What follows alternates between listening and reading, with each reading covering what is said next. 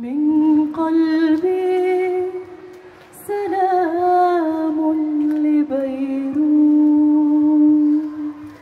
الغناء بيعني لي هو كان طوق النجاة لإلي بهاي ال- المغامرة اللي البيوت اسمي علا الصغير أنا فلسطينية سورية خلقاني بسوريا بمدينة حمص. عشت ودرست فيها وكملت كل حياتي فيها لحد ما تزوجت انتقلت على الشام بعدين على مصر بعدين على البرازيل.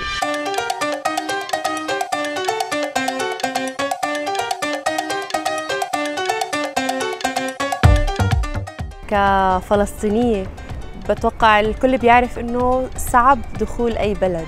فنحن ما بحثنا إنه نحن وين حابين نروح. نحن بحثنا أي بلد هو قادر على استقبالنا البلد الوحيد اللي كان فاتح ابوابه لفينا ندخل هو كان البرازيل.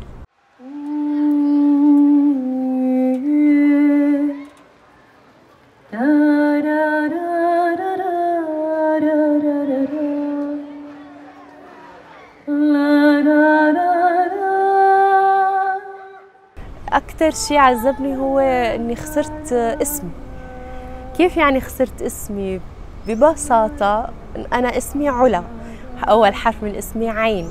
والوحيد اللغة العربية التي تنطق هذا الحرف. بقى صار اسمي أولا. بعدين لما جيت لهون اكتشفت إنه أولا هي مرحبا باللغة البرتغالية. ويا جبل اللي بعيد. قول لحبايبنا بالنسبة لموضوع بال... بال... ببلاد الغربة ببلاد السامبا ما كان سهل أبدا. الغربة ب... بشكل عام هي صعبة بس الطريقة اللي طلعنا فيها من بلادنا والطريقة اللي جينا فيها لهون ما كانت سهل أبدا. التعود والتأقلم آه، يفهم الواحد الثقافة هون طريقة التعايش تعلم اللغة آه، إيجاد عمل آه، باب دخل. يعني كتير أمور بتلعب دور. طبعا ما أنا الوحيدة اللي مريت بهاي التجربة. آه، كل مين مرق فيها أكيد بيعرف الصعوبات اللي هي شاسعة وواسعة على كافة الأصعد النفسية والجسدية والعملية وال- والأسرية وكله.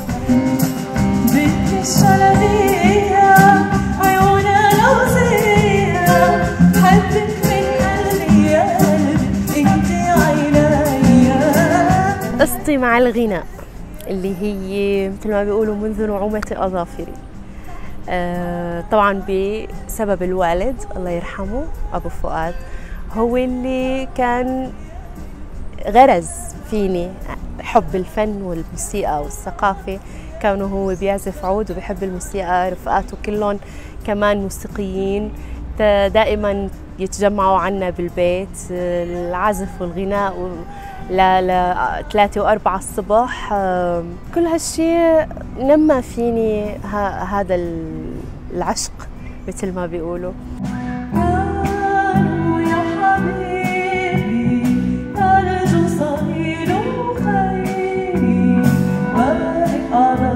أول ما وصلت لهون بشكل عفوي كنت عم ببحث عن أماكن بتقدم موسيقى عربية كوني أنا مغرمة بهذا الموضوع لا لا موضوع إيجاد الراحة النفسية لا أكثر ولا أقل.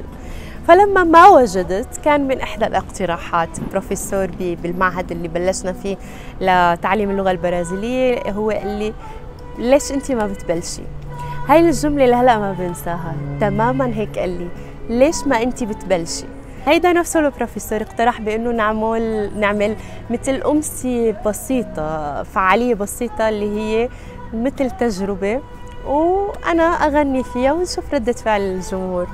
وتفاجأت بردة الفعل كانت رائعة يعني 200 شو ممكن عملتها أو حفل موسيقي بهدول 8 سنين. بس هاي الحفلة بالذات كانت آه، إلى وقع خاص لأنه هي كانت ال- الباب.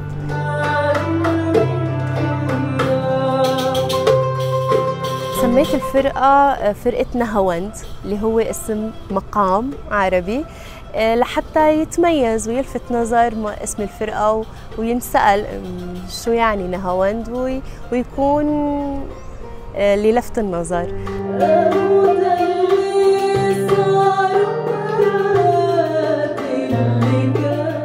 بالإضافة إني أنا عضو بأوركسترا اسمها أوركسترا موندانا هيفوجي اللي هي موندانا من mundial وهيفوجي من refugee لأنه هي بالأصل كانت فرقة مون موندانا. من بتتألف من أشخاص وعازفين برازيليين. وبعدين المايسترو كارلينوس أضم آه، مجموعة من اللاجئين والمهاجرين من مختلف الجنسيات لهالفرقة اللي هي صارت كبيرة من 22 شخص آه، بنغني بمختلف اللغات.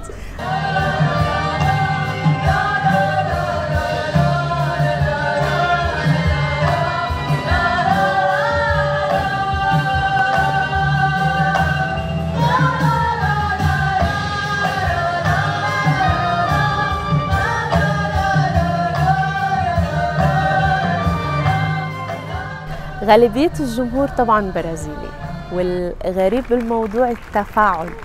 هلأ هو ما سهل موضوع إنك توجد لغة خاصة. بين أنا كمطربة وعم بغني بلغة غريبة عن هذا الجمهور وبين شعب آه، يتكلم لغة تانية تماما وحتى الأغاني تبعهم مختلفة أو الإيقاع اللي هن متعودين عليه.